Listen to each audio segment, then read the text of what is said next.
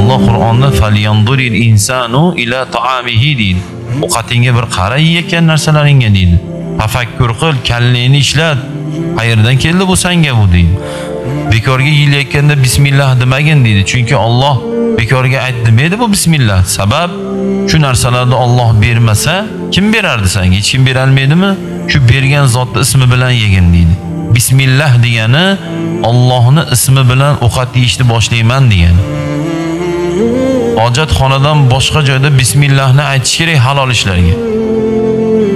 Nashani bismillah deb o'qilasa u iymondan ayriladi u. Aroqni bismillah deb quysa iymondan ayriladi u.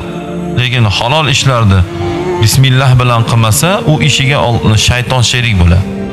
Yeydimi ichadimi atir sepadimi? Atir sepyapsizmi bismillah demadingizmi? Shaytonga ham qo'shib sepayotgan bo'lasiz.